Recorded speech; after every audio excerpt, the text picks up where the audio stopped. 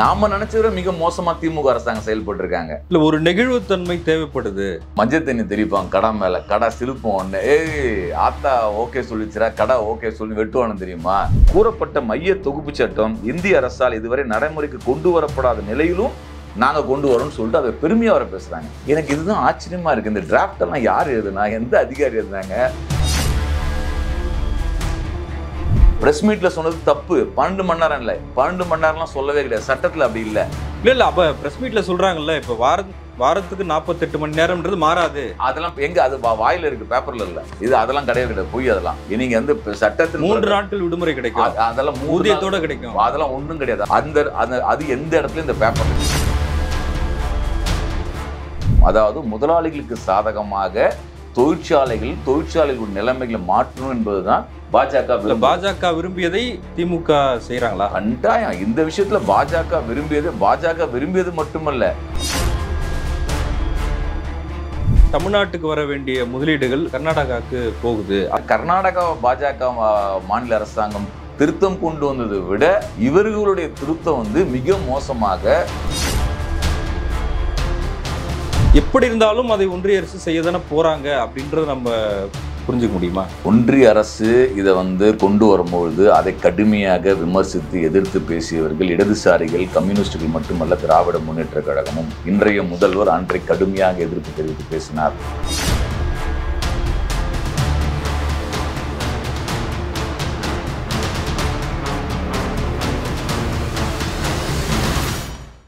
மின்னம்பலம் நேரலுக்கு வணக்கம். இந்த நேர்காணலில் நாம் சந்திக்க இருப்பவர் மார்க்சிஸ்ட் கம்யூனிஸ்ட் கட்சியின் மத்திய சென்னை மாவட்ட செயலாளர் திரு செல்வா அவர்கள். வணக்கம்.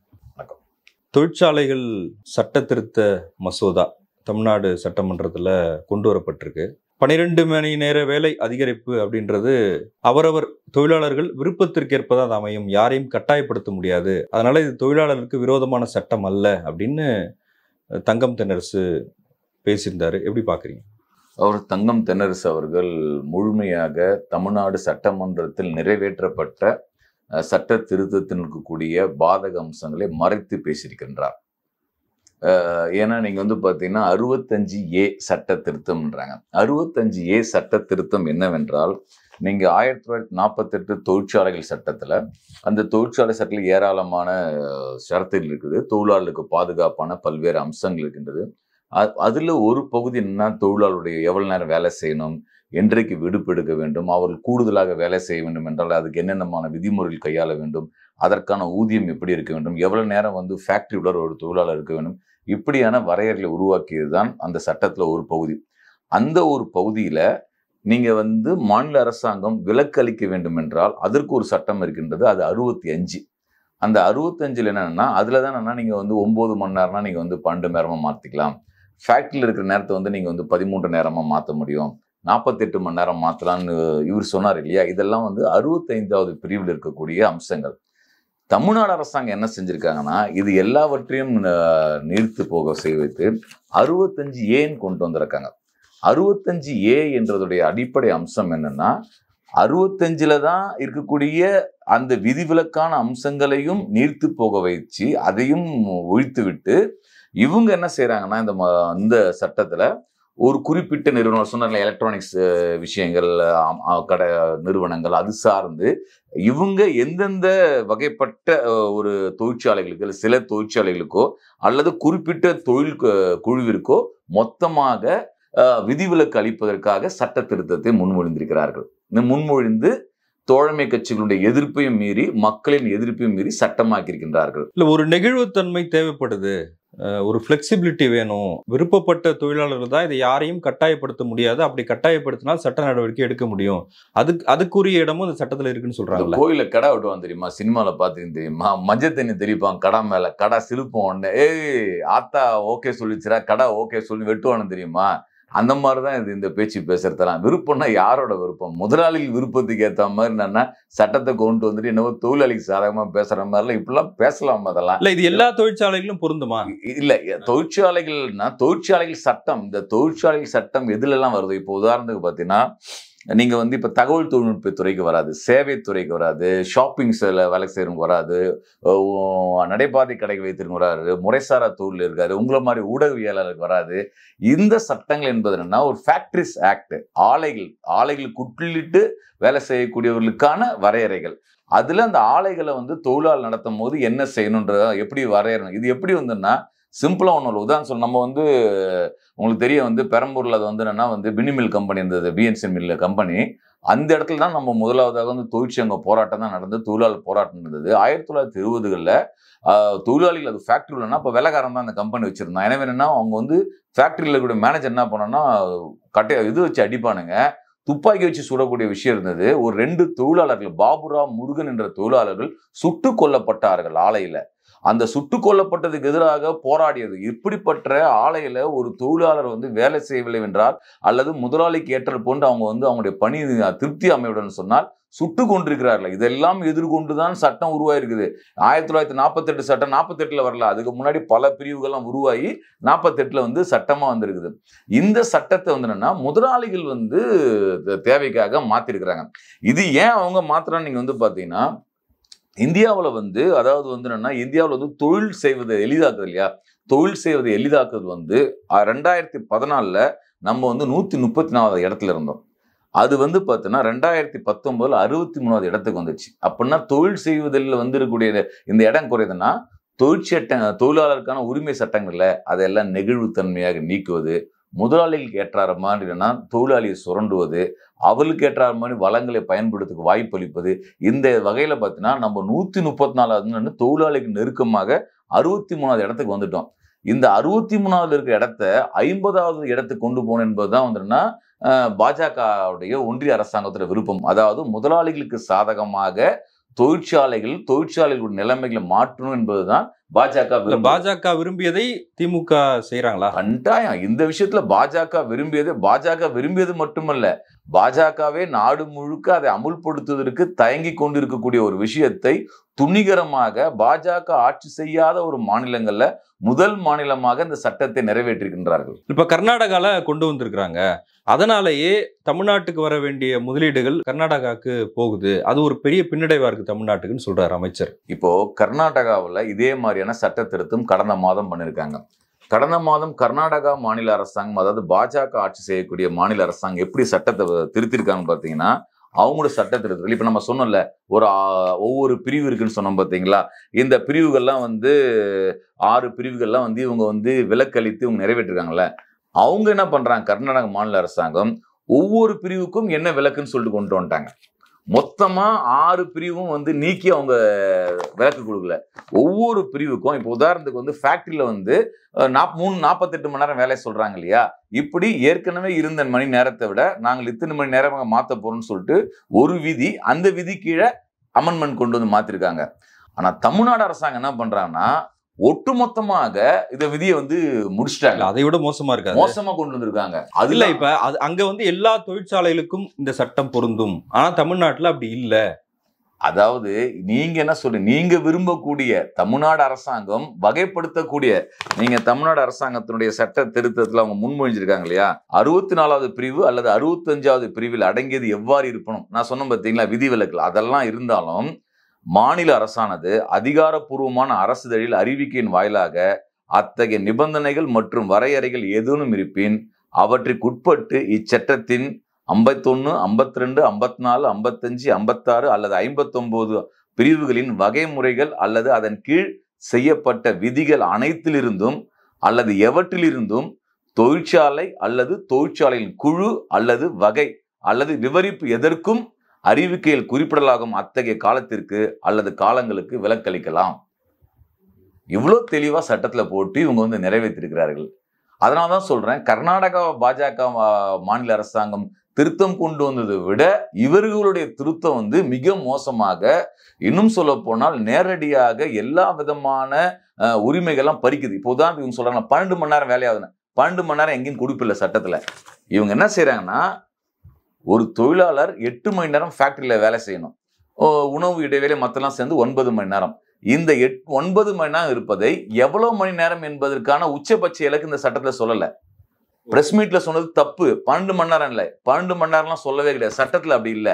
இல்ல இல்ல. அப்ப பிரஸ் மீட்ல சொல்றாங்கல்ல இப்ப வாரம் வாரத்துக்கு நாற்பத்தெட்டு மணி நேரம்ன்றது மாறாது. அதெல்லாம் எங்க அது வாயில இருக்கு பேப்பர்ல இல்ல. இது அதெல்லாம் கிடையவே கிடையாது. பொய் அதெல்லாம். நீங்க வந்து இப்ப சட்டத்தின் மூன்று நாட்கள் விடுமுறை கிடைக்கும். அதெல்லாம் ஊதியத்தோட கிடைக்கும். அதெல்லாம் ஒண்ணும் கிடையாது. அதெல்லாம் சும்மா சொல்லக்கூடிய விஷயங்கள். நீங்க சட்டத்துல எங்க இருக்குன்னு பாருங்க. எந்த இடத்துல குறிப்பிட்டிருக்கு பாருங்க. நான் உங்களுக்கு படிச்சே காமிச்சேன். டோட்டலா இந்த செக்ஷன் போட்டு இந்த செக்ஷன்ல இருக்கக்கூடிய உரிமைகள் அத்தனை கிடையாதுன்னு சொல்லிட்டு சட்டம் நிறைவேற்றி விட்டு நீங்க எப்படி மூணு நாள் லீவு பேசுவீங்க? நாற்பத்தெட்டு மணி அதுவே தப்பு நான் சொல்றேன். நீங்க நாற்பத்தெட்டு மணி நேரம் மூணு நாள் லீவு பேசுறதெல்லாம் கடந்தெடுத்த பொய் அது. அந்த அந்த- அது எந்த இடத்துலயும் இந்த பேப்பர்ல இல்ல. இல்ல இப்ப அரசு தரப்புல சொல்றாங்கல்ல அதாவது அந்த தொழிலாளிக்கு என்னென்ன வசதிகள் இருக்கு அந்த ஃபேக்டரியில ரொம்ப கடுமையான வேலை அந்த இருக்கக்கூடாது வீட்டு தூரம் வந்து ரொம்ப குறைவா இருக்கணும் இப்படி எல்லாம் இருந்தாதான் இது வந்து அந்த தொழிற்சாலைக்கு பொருந்தும். இதெல்லாம் வந்து வாயில பேசிட்டு இருக்கீங்க பேப்பர்ல எங்க இருக்கு சட்டத்துல என்ன இருக்கு சட்டத்துல இருக்கும் போதே நடைமு நடைமுறைப்படுத்த முடியல நீங்க.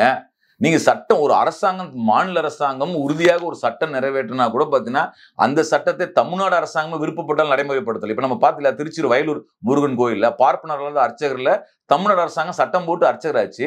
நீதிமன்றம் முடியாது பார்ப்பனர் தான் அர்ச்சகராகன்னு சொல்லிட்டு பேசிட்டாங்க. என்ன பண்ண முடிஞ்சுது? சட்டம் இருக்கும் போதே வந்து நீங்கள் சட்ட ரீதியாக எதுவும் பாதுகாப்பு கொண்டு வர முடியறதுக்கு நம்ம அவ்வளோ சிரமப்படுறோம். நீங்கள் சட்டத்தில் எதுவுமே இல்லாமல் வாயில தானே பேசிட்டு இருக்கீங்க? நீங்கள் வார்த்தை தான் நிற்குமா பேப்பர் தான் நிற்கும் சட்டம் தான் நிற்கும் சட்டத்தில் எதுவுமே அப்படி இல்லவே இல்லை. எனக்கு தெரியல ஏன் வந்து தங்கம் தென்னரசு அவர்கள் வந்து இப்படிப்பட்ட ஒரு தகவல் வந்து அவர் வந்து ஊடகவியலாளர் முன்னாடி பேசுகிறாங்க ஊடகவியலாளரும் அது குறித்து எதுவும் கேள்வி கேட்கல. நான் கூட ஆரம்பத்தில் வந்து அதுதான் இருக்கும்னு பார்த்தா நிறைவேற்றப்பட்ட அந்த தாள் வாங்கி எங்கள் சட்டமன்ற உறுப்பினர் வாங்கி படித்து பார்த்தா நாம நினைச்சதை மிக மோசமாக திமுக அரசாங்கம் செயல்பட்டுருக்காங்க.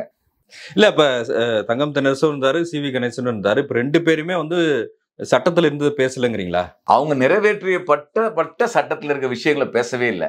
நிறைவேற்றப்படக்கூடிய சட்டம் என்னன்னா இந்த ஆறு பிரிவுகளின் கீழ் தொழிலாளர்களுக்கு என்ன விதமான வந்து என்னன்னா உரிமைகள்லாம் இருக்கப்படுகிறதோ அது அத்தனையும் அறுபத்தஞ்சு ஏ என்ற சட்ட திருத்தத்தின் மூலயமாக விலக்களிக்கப்படுகிறதுன்னு போட்டிருக்காங்க. அதெல்லாம் போட்டிருக்கு பேப்பர்ல அப்ப விலக்களிக்கப்பட்ட பிறகு நீங்க ஒன்பது எப்படி வேணாலும் யார வேணாலும் வேலை வாங்கலாமா? வச்சுக்கலாம். நீங்க ஓட்டி தவறுங்க நீங்க ஒன் நீங்க அடிப்படை என்பது எதுவுமே கிடையாது. ஸ்ப்ரெட் ஓவர் டைம் ஒன்று சொல்லுவாங்க. ஃபேக்டரியில ஒரு பத்தரை மணி நேரம் இருக்கலாம்னு சொல்லிட்டு. நீங்க பத்தரை மணி நேரம் எவ்வளவு மணி நேரம் வச்சுக்கலாம்? நீங்க அதுல இதுல என்னென்ன இதுல விலக்களிக்கிறது விளைவு என்னன்னா நீங்க வந்து ஒன்பது மணி நேரம் கிடையாது. அப்ப எத்தனை மணி நேரம்? பன்னெண்டா பதிமூணா பதினாலா? அதெல்லாம் இதுல சொல்ல அது அது வந்து முதலாளியுடைய விருப்பத்துக்கு போயிடுச்சு. நீங்க நாற்பத்தெட்டு மணி நேரம் சொல்றதும் பேப்பர்ல இல்ல. மூணு நாள் லீவுன்றதும் பேப்பரில் இல்லை. இது எதுவுமே பேப்பரில் இல்லை. பேப்பரில் இவங்க சட்ட திருத்தம் என்ன சொல்கிறாங்க அறுபத்தஞ்சு ஏ என்ற அடிப்படையில் திருத்தம் கொண்டு வந்திருக்காங்க. அறுபத்தஞ்சிலே இதெல்லாம் இருக்குது. இப்போ நீங்கள் இவர் சொல்றாருல அமைச்சர் சொல்கிறாருல்ல இதுவெல்லாம் நடைமுறையில் இருக்கக்கூடிய விஷயம். தான் அதனால தான் நம்ம மக்கள் பல பேர் கேட்குறாங்க யோ நடைமுறையில் இருக்கக்கூடிய பல விஷயங்களை நீங்கள் என்ன பேசுறீங்கன்றீங்க? நடைமுறையிலேயே விதிவிலக்காக ஒரு மாநில அரசாங்கம் செயல்பட முடியும். நீங்கள் ஒரு ஃபேக்ட்ரியில் போயிட்டீங்க திடீர்னு வந்து ஒர்க் அதிகமாகுது உடனே அதை எக்ஸ்டெண்ட் பண்ணுவாங்க துறைமுகத்தில் போய் வந்து வேலை நடக்கும். நீங்கள் மைனிங் ஏரியாவில் அந்த மாதிரி வேலை நடக்கும். இதெல்லாம் நடந்துட்டு இருக்க விஷயங்கள் இருக்குது இதெல்லாம் அந்த விதிவிலக்கு இருக்கு பார்த்தீங்கன்னா சிக்ஸ்டி ஃபைவ் அதில் இருக்குது அந்த சட்டத்தில் இருக்குது இவங்க அது அதுவே போதாது என்று அறுபத்தஞ்சு ஏன் என்று ஒரு பத்தியை கொண்டு வராங்க. அந்த பத்தியில தான் இதெல்லாம் நீக்கம் பண்றாங்க. உங்களுக்கு விடுமுறை என்பது ஒன்றும் உத்தரவாதம் கிடையாது. தொழில் நேரம் என்பது உத்தரவாதம் கிடையாது. எவ்வளோ நேரம் வேணாலும் நீங்கள் ஃபேக்ட்ரியில் வேலை வச்சு வா- வேலை வாங்கலாம். கூடுதலாக வேலை செய்ததுன்னா அதற்கான கூடுதலான ஊதியம் தர வேண்டும் என்றக்கூடிய சட்ட ரீதியாக இருந்த உரிமை வந்து முற்றிலுமாக பறித்து விட்டார்கள். இப்ப எட்டு மணி நேர வேலை அப்படின்றது வந்து ஒரு மிகப்பெரிய உலகளாவிய ஒரு போராட்டத்திற்கு பிறகு கொண்டு வரப்பட்டது. இந்தியாவில் முதல் முறையாக மே தின கொண்டாட்டத்தை நடத்தியவர் சிங்காரவேலர். கலைஞர் வந்து ஊதியத்துடன் மே தின விடுமுறை அறிவித்தவர். இப்படியான ஒரு வரலாறு தமிழ்நாட்டுக்கு இருக்கு. முதலமைச்சரோட ஒரு நல்ல உறவுல இருக்கிறீங்க. மார்க்சிஸ்ட் கம்யூனிஸ்ட் கட்சி கூட்டணியில் இருக்கிறீங்க. அதெல்லாம் மீறி இது கொண்டு வர வேண்டிய நிர்பந்தம் என்னவா இருக்குன்னு நினைக்கிறீங்க? கண்டிப்பாக இவங்க வந்து நான் அதான் வந்து தங்கம் தென்னரசு அந்த இடத்துல உண்மையை பேசியிருக்காரு நாங்கள் ஏன் கொண்டு வந்திருக்கேன்னா வெளிநாட்டு மூலதனம் வேணும். முதலாளிகள் விரும்புகிறார்கள். முதலாளிகள் விருப்பத்திற்காகவும் வெளிநாட்டு மூலதனம் வந்து வருவதற்கான நெகிழ்வுத்தன்மையை நாங்கள் வந்து ஏற்படுத்த வேண்டியிருக்கின்றது. அதற்காக உருவாக்கணும்னு சொல்லிட்டு அந்த இடத்துல உண்மையை பேசியிருக்காரு. அப்போ இவங்க என்னோட கேள்வி என்னன்னா வெளிநாட்டு மூல மூலதனம் இங்கே உங்களுக்கு நெகிழ்வுத்தன்மை எங்கே கேட்குதுன்னா தொழிலாளருடைய உரிமையாக இருக்கக்கூடிய அந்த எட்டு மணி நேர வேலை அதுக்கு மேலே கூடுதலாக வேலை செஞ்சால் கூடுதல் ஊதியம் இதையெல்லாம் கொடுக்கக்கூடாது. அதை நாங்கள் கொடுக்க மாட்டோம். அதில் எங்களுக்கு கொஞ்சம் ரிலாக்ஸ் பண்ணி கொடுங்கன்னு கேட்டால் அதை ஒரு தமிழ்நாடு அரசாங்கம் வந்து செஞ்சு கொடுக்கலாமா? இப்போ இதே கேள்வி நீங்கள் வந்து ஏன் வந்து அவங்க வந்து அவங்க நாடுகளில் ஏன் அதை பண்ண மாட்டாங்க ஐரோப்பாவில் பல நாடுகளில் வந்து எட்டு மணி நேரம் வேலையை கணிசமாக குறைச்சிட்டாங்களா அவங்க. ஏன் குறைச்சிட்டு ஏன் அங்க குறைக்கிறதுன்னா அந்த தொழிலாளியை அவங்க வந்து என்னன்னா ஆரோக்கியமா வைக்கணும்னு சொல்லிட்டு அந்த நாடுகள் விரும்புது. இல்ல அவங்க சில உதாரணங்கள்லாம் கூட சொல்றாங்க அந்த தரப்புல. பங்களாதேஷ் வியட்நாம் இந்தோனேஷியா இப்படியான இடங்கள்லாம் வந்து இந்த மாதிரியான நெகிழ்த்தன்மை இருக்கிறதுனால கொஞ்சம் வளர்ச்சி அடைந்திருக்கு. அது அந்த வளர்ச்சி அடையில். அங்கே முதலாளிகள் வளர்ச்சி அடைந்து அங்கே நாசமாக போய் கிடக்குறான். பங்களாதேஷில் போய் பாரு. இவங்க தான் சொல்கிறாங்களே தமிழ் அரசாங்கம் என்ன சொன்னாங்க? நம்முடைய உயர்கல்வி நம்முடைய மனிதவள குறியீடுகள் தமிழ்நாட்டுடைய மனிதவள குறியீடுகள் ஐரோப்பாவுடைய பல நாடுகள் ஒப்பிடும் போது போது நம்ம மேலே இருக்குன்னு சொல்லிட்டு அங்கே நீங்கள் பெருமை பேசுகிறீங்களே இப்போ வந்து அவன் நாசமாக போயிருக்கிறான் கீழே இருக்கிறான் வதைக்க வதைக்கப்பட்டிருக்கிறார்கள். அங்கே வந்து தொழிலாளி கொத்து கொத்தாக வந்துன்னா வந்து நெருக்கடியில் மாற்றிக்கொண்டு தகித்து கொண்டிருப்பதை நம்ம பார்க்க முடியுது அதையே நீங்கள் ஒப்பிடுறீங்க? மனிதவள குறியீடுகள் மேம்பாடு என்று சொல்லப்படும் போது அல்ல தொழிலாளர் நலன் என்பது மனிதவள குறியீடு அடிப்படை தானே அது? அதையே நீங்க வந்து அதை கண்டுக்க மாட்டேன்றீங்க. இல்ல இப்ப இந்த சட்டம் வந்து ஒன்றிய அரசு கொண்டு வந்தாங்க. அது வந்து நிலுவையில இருக்கு. எப்படி இருந்தாலும் அதை ஒன்றிய அரசு செய்ய தானே போறாங்க அப்படின்றத நம்ம புரிஞ்சுக்க முடியுமா? ஒன்றிய அரசு இதை வந்து கொண்டு வரும்பொழுது அதை கடுமையாக விமர்சித்து எதிர்த்து பேசியவர்கள் இடதுசாரிகள் கம்யூனிஸ்டுகள் மட்டுமல்ல திராவிட முன்னேற்ற கழகமும் இன்றைய முதல்வர் அன்றை கடுமையாக எதிர்ப்பு தெரிவித்து பேசினார். கூடுதலாக சொல்ல வேண்டிய விஷயம் என்றால் நாடு முழுவதும் தொழிற்சங்கங்கள் ஒருங்கிணைந்து போராடும் போது அந்த ஒருங்கிணைப்பு குழுல திமுகவுடைய தொழிற்சங்கமான எல்பிஎஃப் இருக்கிறாங்க. தோமியா எல்பிஎஃப் இருக்கிறது. அந்த எல்பிஎஃப் வந்து ரொம்ப ஆத்மார்த்தமாக அந்த போராட்டத்தில் பங்கெடுத்தார்கள். இன்று வரைக்கும் தோமுயாசா வந்து நான் பார்த்தீங்கன்னா அதில் வந்து உறுதியாக நிற்கிறார்கள். இப்படி இந்த போராட்டம் நடத்தும் போது இன்னும் கேட்டால் நீங்கள் முதலமைச்சர் இப்போ தற்போதைய முதலமைச்சர் அவர் வந்து இந்த சட்டத்தை பாஜக அரசாங்கம் கொண்டு வரும்போது அவர் பேசிய பேச்சை நீங்கள் எடுத்து படித்து பாருங்கள் அவ்வளோ வந்து தெளிவாக உக்கிரமாக அவர் வந்து முத அப்போது பேசியிருக்கின்றார். அப்போ நீங்க அதெல்லாம் பேசி முடிச்சிட்ட அப்புறம் இப்போ வந்து அவங்க என்ன பண்ணிட்டாங்கன்னா சட்டம் நிறைவேற்றிட்டாங்க. சட்டம் நிறைவேற்றி விட்டுட்டு அவங்க அரசு இதழிலும் வெளியிட்டு விட்டு ஆனா அமுல்படுத்த முடியல. அமுல்படுத்துவதற்கு அவங்க பதுங்குறாங்க தயங்குறாங்க. நாடு தழுவிய அளவுல கொண்டு வர முடியுமா. யோசிக்கிறாங்க. ஆனா அவங்களால முடியல. அவங்க முடியாம அவங்க ஆட்சி செய்யக்கூடிய மாநிலம் கொண்டு வராங்க. அதுக்கு இவங்க சொல்றாங்க இந்த நோக்கம் காரண விளக்க உரையில இந்த இது வந்து ரெண்டாயிரத்தி இருபதாம் ஆண்டு வந்து செப்டம்பர் திங்களில் இந்திய அரசால் ஏற்றப்பட்டது இச்சட்டம் இந்திய அரசின் அறிவிக்கையின் மூலம் நடைமுறைக்கு கொண்டு வரப்பட இருக்குது அறிவிக்கையின் மூலம் நடைமுறை கொண்டு வரப்பட போகிறது. ஆனாலும் நம்ம என்ன சொல்ல போனால் அந்த இவங்க சொல்கிறாங்க கூறப்பட்ட மைய தொகுப்பு சட்டம் இந்திய அரசால் இதுவரை நடைமுறைக்கு கொண்டு வரப்படாத நிலையிலும் நாங்கள் கொண்டு வரோம்னு சொல்லிட்டு அதை பெருமையாக வர பேசுகிறாங்க எனக்கு இதுதான் ஆச்சரியமா இருக்கு. இந்த டிராஃப்டெல்லாம் யார் எழுதுனா? எந்த அதிகாரி எழுதுனாங்க? ஏன் மினிஸ்டர்ஸ்லாம் பார்க்கலையா? சீஃப் மினிஸ்டர் எல்லாத்தையும் பார்க்கணும் பார்க்கறதுக்கான வாய்ப்பு கம்மியாக இருக்குன்னு வச்சிங்களேன் பட் வந்து நீங்கள் செக ஃபர்ஸ்ட் லெவல் அதிகாரி முடித்தோடனே கன்சர்ன் மினிஸ்டர் பார்க்கணும். அதோட குரூப் ஆஃப் மினிஸ்டர்ஸ் அது சார்ந்திருப்பாங்க வேர்ட் பை வேர்டு என்ன இருக்குது? இதெல்லாம் நம்முடைய அரசின் கொள்கை சார்ந்த அடிப்படையில் இருக்கிறதா அதில் ஏதாவது மாறி போதனால இதெல்லாம் பார்க்கணும் இவ்வளோ தெளிவாக வந்து எழுதி கொடுத்துருக்குறாங்க அதிகாரிகள். அப்படியே வந்து சட்டமாக கொண்டு வராங்க. இனிமேல் ஒன்றிய அரசாங்கம் கொண்டு வரணும் நம்ம கொண்டு வரணும் அவசியம் இல்லை. இப்போ நீட்டு கொண்டு வரன்றாங்க நீட்டு வந்து நம்ம தவிர்க்க முடியல சட்டமன்றத்தில் தீர்மானம் போட்டோம். இதுக்கு ஒன்றிய அரசுக்கு அனுப்பிச்சிருக்கோம். தொடர்ந்து போராட்டம் நடத்திட்டே இருக்கிறோம். அப்போ அவங்க சொல்றதுனால நம்ம அமுல்படுத்தணும் அவசியமா? நீங்க இதே மாதிரி தான் வந்து பார்த்தீங்கன்னா மின்கட்டண மசோதா வந்து மின்சாரம் மசோதா கொண்டு வரும்போது பார்த்தீங்கன்னா அஹ், அதிமுக ஆட்சியில் முதல்வராக ஜெயலலிதா இருக்கும்போது அமுல்படுத்த மாட்டேன்னு சொன்னாங்க. அவங்க அதை அமுல்படுத்த மாட்டேன்னு சொன்னாங்க. நீட் அமுல்படுத்த மாட்டேன்னு சொன்னாங்க. அப்போல்லாம் நம்ம வந்து அதை வந்து பெருமையாக தானே பேசணும். இது தமிழ்நாடு. நாங்கள் அமுல்படுத்தல. முதலமைச்சர் ஜெயலலிதா அமுல்படுத்தாமல் இருந்ததை எடப்பாடி அவர்கள் முதல்வர் போது தான் வந்து பயந்து போயிட்டு அவர் அமுல்படுத்தினார். எனவே ஒரு ஒன்றிய அரசாங்கம் வந்து நிறைவேற்றப்பட்ட சட்டத்தை ஒரு தமிழ்நாடு அரசாங்கம் தனக்கு இருக்கக்கூடிய அதிகாரத்தை பயன்படுத்தி தன்னுடைய மக்களை வதைக்காமல் பாதுகாப்பதான அடிப்படையாக இருக்கணும். இப்போ நீங்கள் சில போராட்டங்கள்லாம் இது குறித்து அறிவிச்சிருக்கிறீங்க. மே தினம் வர இருக்கு. இந்த சட்டம் திரும்ப பெறவில்லை என்றால்? சட்டம் திரும்ப பெறவில்லைன்னா அது வந்து என்னன்னா கட்டாயம் போராட்டம் அதிகமாக தான் செய்யுங்க. நீங்கள் வந்து நேற்றைய தினமே பார்த்தீங்கன்னா இந்த சட்டத்தினுடைய நகல்கள் வந்து கிழித்து எரிக்கப்பட்டு தமிழ்நாடு முழுக்க வந்து போராட்டம் நடந்து கொண்டிருக்கின்றது. நாளையும் போராட்டம் நடக்கும். தொடர்ந்து வந்து என்னன்னா இது வந்து ஒரு போராட்டங்கள் மட்டுமல்ல திராவிட முன்னேற்ற கழகம் இது நாள் வரை தனக்கு தன் தனக்கு ஆதரவு தளமாக வைத்து கொண்டிருக்க இடத்தெல்லாம் வந்து எதிர்ப்பை சம்பாதித்து கொண்டு வருவதை புரிந்து கொள்ள வேண்டும்.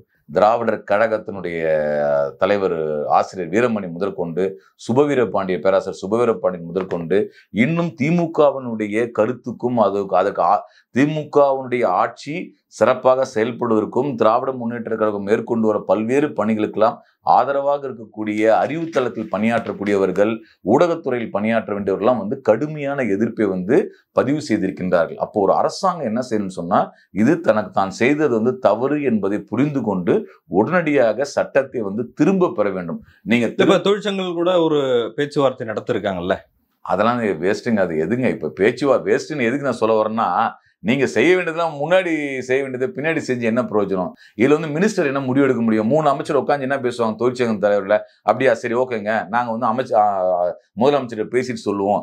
என்ன சொன்னாலும் அவங்க சிஎம் கிட்ட பேசி தான் போனோம் சிஎம் நேரடியாக ஆக்ஷன் இறங்க வேண்டியதான் இறங்கினான்னா நான் வந்து இது மாதிரி சட்டம் திருத்தம் நிறைவே சட்டம் கொண்டு வந்தோம்.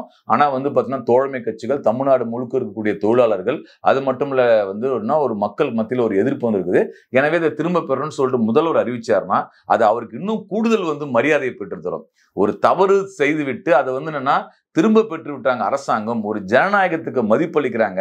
மக்களின் கருத்துக்கு மதிப்பளிக்கக்கூடிய அரசாங்கமாக தமிழ்நாடு அரசாங்கம் இருக்கிறது என்பதை நிரூபிப்பதற்கான வாய்ப்பு இன்றைக்கு முதல்வர் ஸ்டாலின் முன்னால் இருக்கின்றது.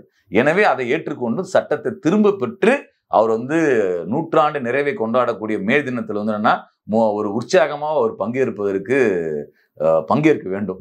நன்றி. உங்கள் நேரத்துக்கு மிக்க நன்றி. Minnambalam dot com. தமிழின் முதல் மொபைல் பத்திரிகை.